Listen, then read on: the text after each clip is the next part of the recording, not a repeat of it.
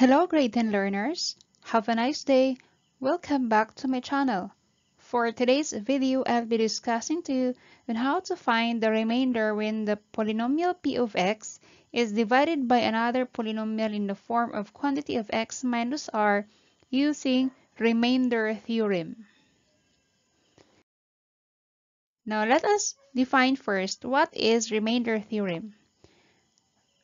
If the polynomial p of x is divided by quantity of x minus r, the remainder r is a constant and is equal to p of r. Since r is a symbol for the remainder, then r is just equal to p of r. Actually, there are two ways wherein we can find the remainder. The first one is the remainder theorem. The second one is synthetic division. And I have already discussed in my previous video about synthetic division. So now let's begin with our example on how to find the remainder using the remainder theorem.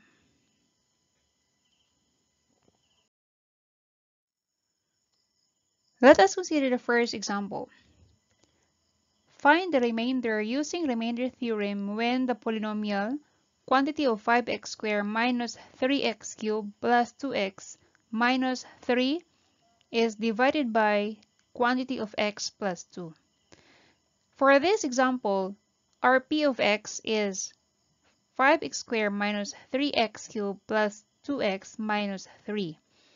If you have observed, the given polynomial is not yet written in standard form but it is not necessary that you are going to write this in standard form. Just leave it as this form. And our divisor is quantity of x plus 2. So we have to solve first for x. We will copy x plus 2 and equate it with 0. So we have to solve for x now. 2 will be transposed to the right side and it became negative 2. So our x is equal to negative 2. Now we are going to write our p of x. So our p of x, just copy this one, 5x squared minus 3x cubed plus 2x minus 3. Since our x is equal to negative 2, we are going to solve for p of negative 2. Okay? Again, we get this negative 2 from this. x plus 2 is our divisor and solve for x. Now we're going to substitute the variable x by negative 2. That is why we have here p of negative 2 is equal to 5 times quantity of negative 2 square minus 3 times quantity of negative 2 cube plus 2 times negative 2 minus 3. Now we will simplify. So we have p of negative 2, just bring down 5, negative 2 square, that is equal to 4. Then bring down negative 3, simplify first, quantity of negative 2 cube, that is equal to negative 8. Negative 2 times negative 2 is positive 4 times negative 2 that is equal to negative 8 plus 2 times negative 2 is equal to negative 4. Bring down negative 3. Now let's simplify further. So we have 5 times 4 is 20. Negative 3 times negative 8 is positive 24. Positive times negative is negative 4 and bring down minus 3. Lastly, we have to simplify further. So we have 20 plus 24 is 44, minus 4 is 40, minus 3 is 37. So it means that P of negative 2 is equal to 37. And this is also our remainder. Okay, we can solve this one by using synthetic division. Okay, by using synthetic division, we have to write first the coefficient in the dividend. So this is our dividend. But since this is not arranged, so we are going to write first the coefficient of a term with the highest degree. So that's why we have here negative 3. Followed by the second degree term, we have 5. Next, we have 2. And lastly, we have negative 3. So, I'll just explain this. So, bring down negative 3. Multiply negative 3 by negative 2. So, we have 6. Then we have to add 5 plus 6 is 11. 11 times negative 2. That is negative 22. 2 plus negative 22 that is equal to negative 20.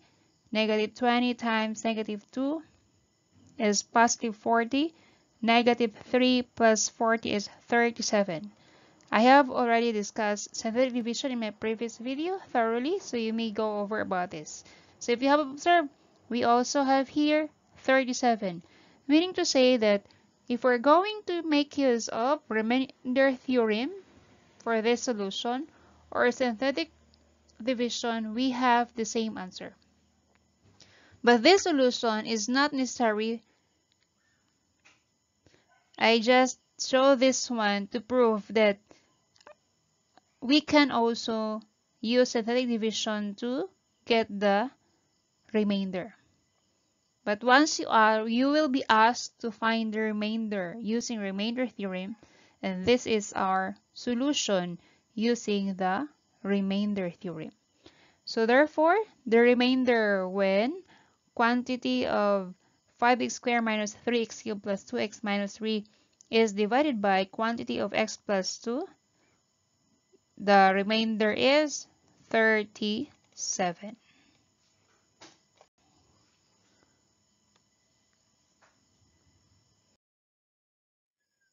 Now let's have the second example. Find the remainder using remainder theorem when the polynomial quantity of 8x cubed minus 4x squared plus 2x plus 5 is divided by quantity of 2x plus 1. So first we have to solve for x. Copy 2x plus 1 and equate it with 0. Now transpose 1 to the right side so it became negative 1. Then divide both sides of the equations by 2. So 2x divided by 2 that is equal to x and negative 1 divided by 2 that is equal to negative 1 half. Next, we have to copy our p of x. So our p of x is 8x cubed minus 4x squared plus 2x plus 5. Now we're going to solve for p of negative 1 half.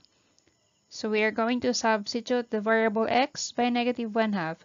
So just bring down 8 and x will be substituted by negative 1 half raised to the power of 3. So we have negative 4 times negative 1 half to the power of 2 plus 2 times negative 1 half plus 5. Now we'll simplify further. So we have 8 times negative 1 half to the power of 3. So it means that negative 1 half will be multiplied 3 times. So negative 1 half times negative 1 half times negative 1 half and the answer is negative 1 8.